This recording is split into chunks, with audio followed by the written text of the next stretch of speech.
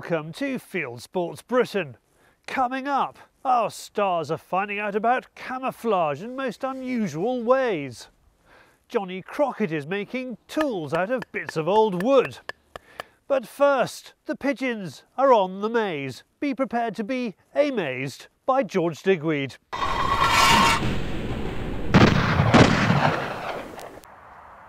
It's our Christmas catch up with George, who is looking particularly festive, if not fashion conscious. To be honest with you, I couldn't care what it looks like, as long as my head's warm.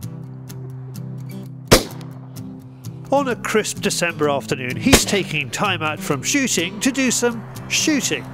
At this time of year, the 20 times world champion is flat out looking after his sporting days. But for George, this really is R&R with a bit of pest control thrown in. It's always a nice to have a have a break and get out of it, have a shot with the when the when the season's on. Do you know what I mean? It's uh, it's really hard work for us at the moment, and uh, especially this year. So to get out and have a shot at the weekend is just a nice break. He's been shooting this particular spot on the English North Downs for a decade, and it's some of the most challenging sport around.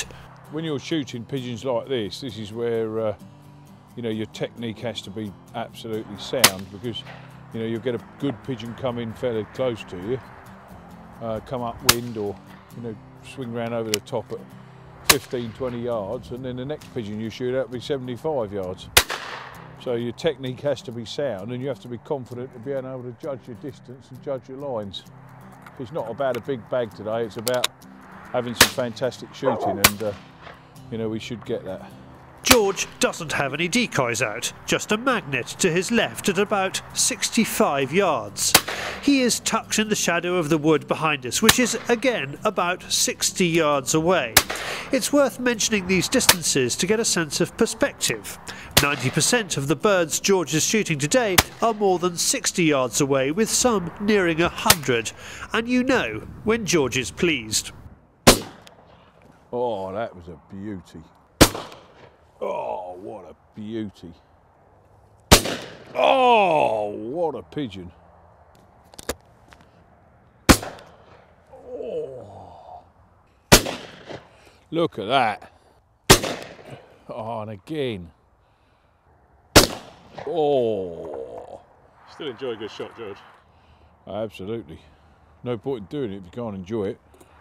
Now, it cannot be denied that 2012 has been a fantastic year for British sporting achievement.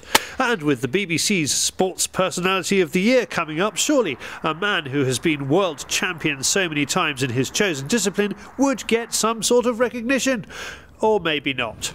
I can't imagine why they'd ask me this year. They haven't asked me many other years. It was a nice one. They haven't asked me many other years. I went three times and the last time I went was in Birmingham and they put me up in the ceiling. Um, they put me up at the ceiling and uh, you know it's just a waste of time. I hope uh, Pete Wilson goes and gets some good coverage. You know, I hope that he gets invited to it, and I hope they interview him, and, and I hope that uh, you know he comes across well because he's got an ideal opportunity to promote the sport. The one thing Pete didn't have to worry about during the games was a cold cartridge. George will now explain why it is important to look after your shells during the winter months. Yeah, if you look up the barrels there, just out up into the sky, you can see all the residue left up in there, uh, which is which is where the cartridges have been kept in damp conditions, and uh, you know the, the the powder's got a little little damp, so they they burn a bit slower. Doesn't really affect the performance hugely, but I mean, obviously, it's not ideal.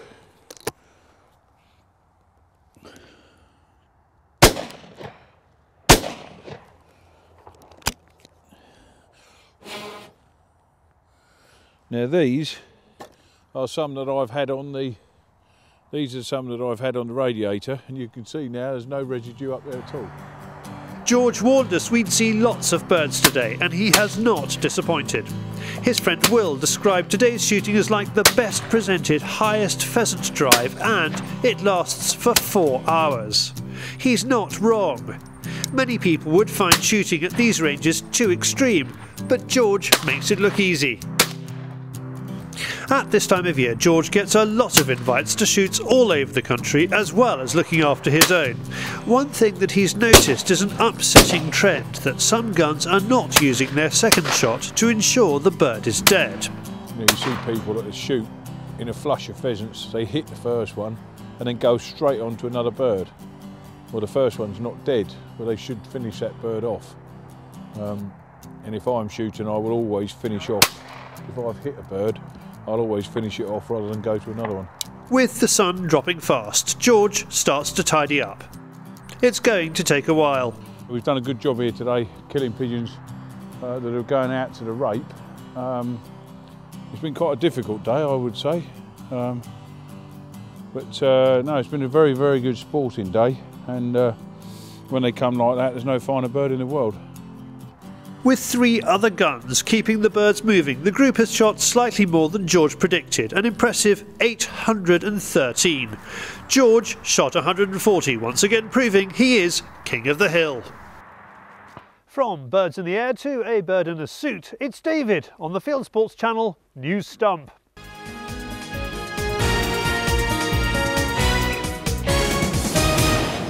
This is Field Sports Britain News. A British animal rights organisation plans a day of action on the 15th of December. It claims its activists, all two of them, will be leafleting outside the British newsagent WH Smith across the UK to protest against the sale of shooting magazines to young people. WH Smith recently went back on a policy to age restrict shooting magazines. You can order your own leaflets and postcards via the Animal Aid website, animalaid.org.uk. They make great loft insulation. Bear hunting with dogs is to be banned in the American state of California. Some 1,700 black bears out of a population of up to 39,000 are shot in California each year. Almost half are with the help of hounds. Hunters are required by law to eat the meat, but hunters who trace their lineage back to George Washington, Daniel Boone and Theodore Roosevelt will only be allowed to use guns, not hounds, from the 1st of January 2013. Gun crime across Scotland fell by 20% between 2010 and 2011, according to the latest figures.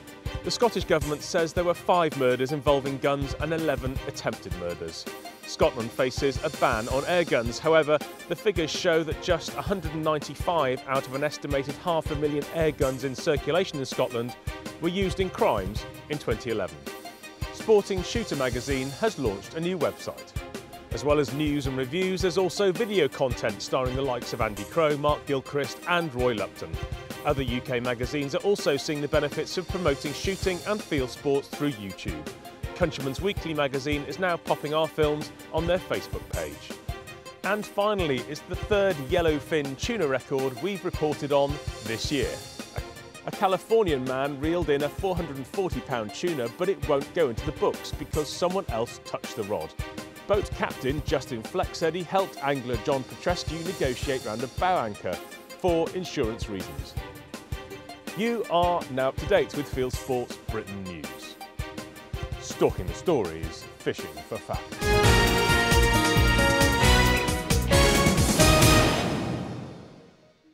Thank you, David. Well, we've all got a lot to learn about camouflage. I've been off finding out if it's really necessary.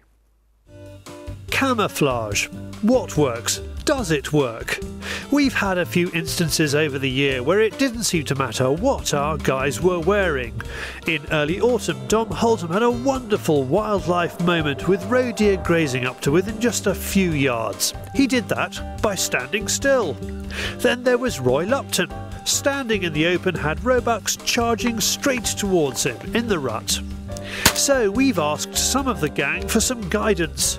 For starters, wallflower Mark Gilchrist has been a long time supporter of blending into the background. If you're keeping still, it will help you to, to conceal yourself. But if you can't sit still, it doesn't matter what you're wearing, they're going to see you. You can be camouflaged, you know, you can wear one of those ridiculous, they're called ghillie suits, you know, the ones with all the hair hanging off them. That's 20. They'll still, still see you because you're moving around. They see movement. Uh, most birds, I think, are colourblind or they've got poor colour vision and what they see is movement. Also, if you wait till the pigeons are just about settling and they're, and they're flying right, if you get up, it doesn't matter what you're wearing, they can't see you because they're focused on making sure they're not hitting the ground. We've asked Mark to take Okay, camo right, to a new level. Is it on. the Emperor's on, new on. clothes? Get on, get on. My bum look big in there. right, does it? Go on, get on. Um, that's the thing I love about Labradors over girlfriends is uh, girlfriend now would just go mental. Have you ever turned up to a dinner party dressed like this? They don't like it. But Dawn, she just thinks the whole thing's a lot more fun. If what you say is true, you should be able to shoot some pigeons like that. Yeah, yeah, no problem at all. My modelling career never really took off. I've, I mean, I'm not sure I'm going to swing through properly because um, I've never really worn a things that. It's not really. I don't think this isn't my size, is it? I'm going to keep it though.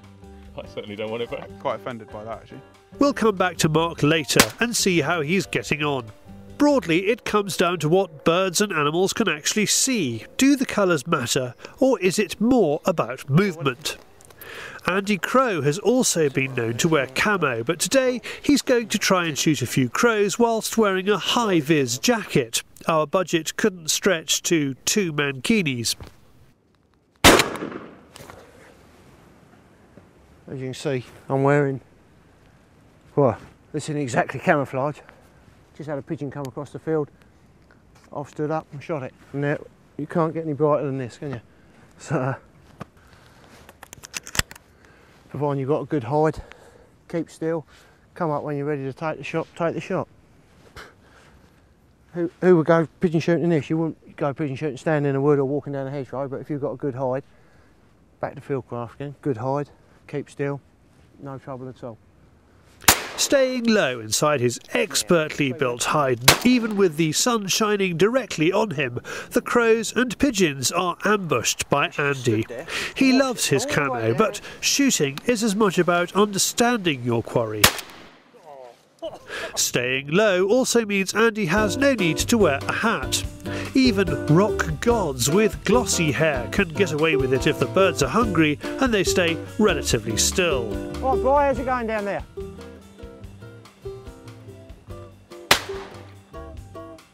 Of course, being spotted is just one way of losing that shooting opportunity.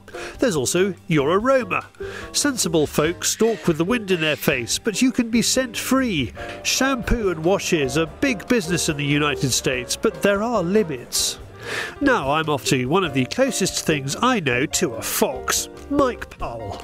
I've only been at his home in Devon for five minutes when Mike spots a rabbit. This is an ideal opportunity for the Sporting Rifle magazine expert to show how the clothes he stands up in are as good a camo as any.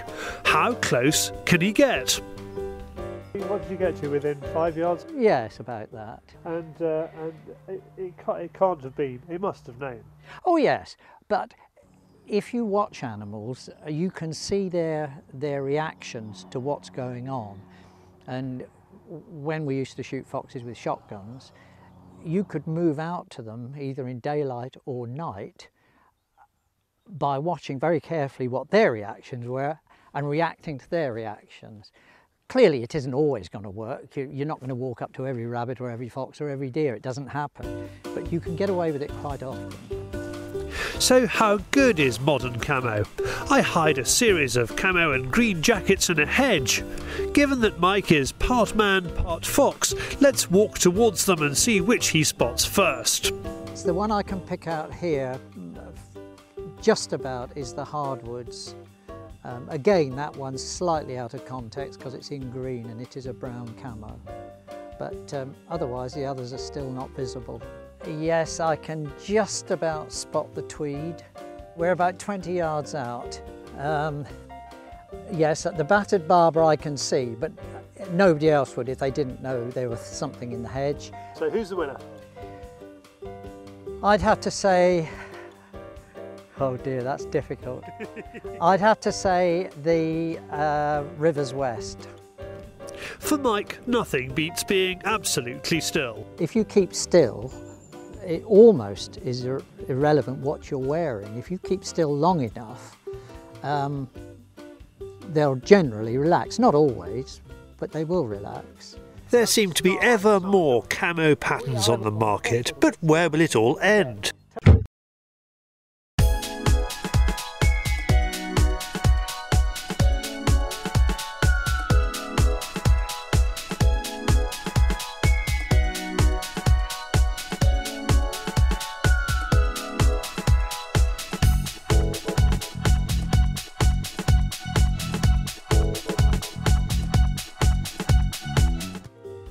So, how is Mark getting on with the pigeons? It is a wonder actually when I dress like this that I'm ever really single. Camouflage does have its place, and next year we will be testing it in places where it matters. From hiding out in the woods to camping out in the woods, Johnny Crockett from Survival School has got a new method for making a mallet.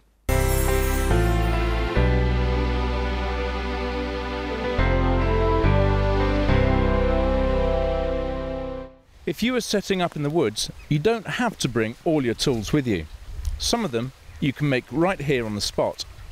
What we're going to make is a mallet. Now, the irony of making a mallet is that ideally you need a mallet to make a mallet. So this is my mallet to make a mallet. It's just a one foot length of fairly thick hazel. And I'm going to make my mallet out of this. I'm going to split it in half and this end is going to be my mallet and this end I'm going to make into four tent pegs that I'm going to use to put my tarp up later on. And measure it out, always measure twice and cut once. So that's where I'm going to make my, my mark, peg it down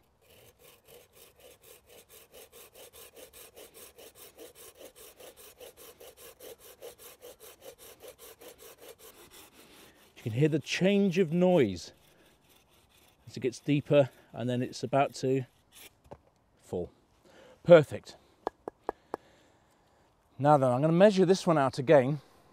As it happens, where the where, where the bark is ripped here, that is about the same sort of size as my hand. So the mallet I'm going to make, I need to have a handle about about that long. So what I'm going to do is I'm going to turn it round. Again, I'm going to put my foot on there for a bit of control. And I want to cut in about a couple of centimetres, maybe a centimetre and a half. Turn it round.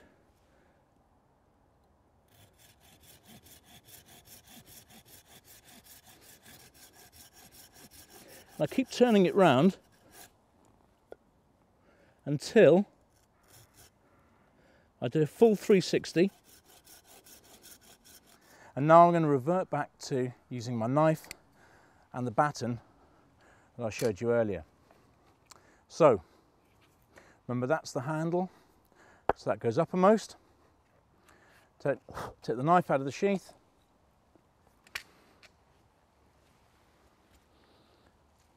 And what we're going to do is we're going to put our knife just on the edge, but up to the hilt, so that when I strike down,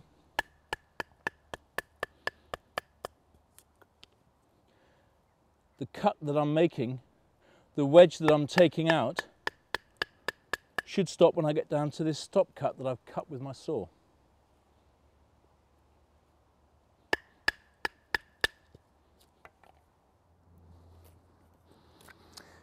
So I just need to make this a more ergonomic handle now. As you can see, it's got lots of ridges on it. So just cutting out to the side, just going to make it a bit, a bit rounder really.